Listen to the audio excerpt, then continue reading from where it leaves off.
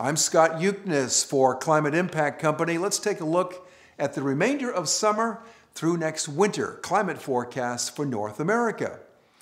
Now, since May, we've seen record heat across much of the United States, but in August we expect a pattern change.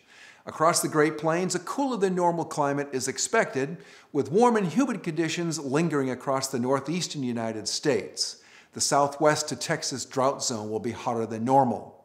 Wetter than normal precipitation pattern is likely for the Corn Belt, lots of thunderstorms in that zone, where tropical cyclone activity could bring wetter than normal conditions to the Gulf of Mexico region and also the mid-Atlantic coastline.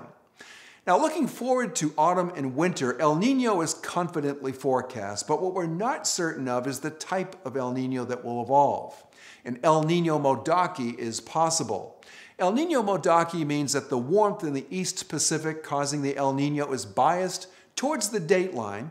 In that condition, the autumn season climate forecast will favor anomalous warmth across the northern United States and Canada, while most of the United States is actually temperate.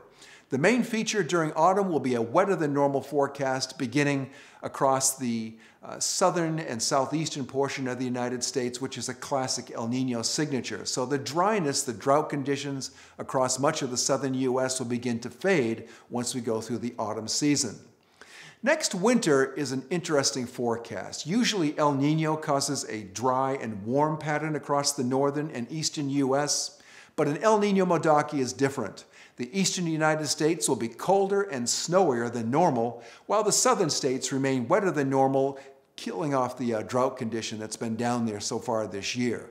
The northern part of the United States will be a bit milder than normal during winter.